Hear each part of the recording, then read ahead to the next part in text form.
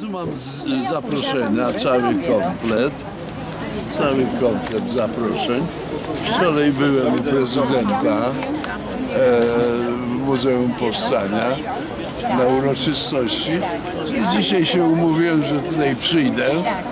A tu okazuje się, że trzeba jeszcze jakąś dodatkową partyjną mieć, więc co ja e, opaskę probana e, zszarpałem, zdjąłem, no bo jak oni mnie uważają za wroga i nie chcą wpuścić, to co, ja jestem normalny inwalida wojenny pierwszej grupy. Byłem członkiem AK cały czas, byłem w Związku Radzieckim w niewoli, wydostałem się stamtąd. Całą okupację byłem e, w ruchu oporu, na co są dokumenty, dowody.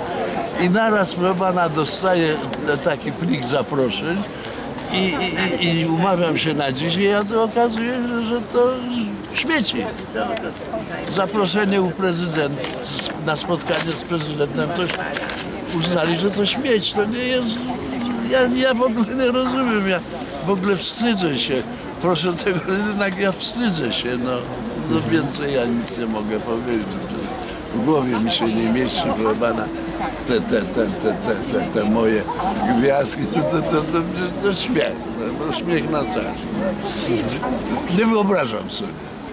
Z niewoli sowieckiej wymknąłem się cudem w bardzo trudnych e, okolicznościach. Całą okupację byłem, byłem w ruchu oporu.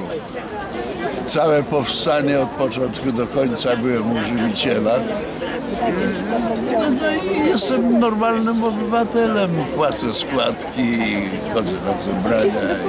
No więcej ja nic nie potrafię powiedzieć. A po wojnie prześladowali pana?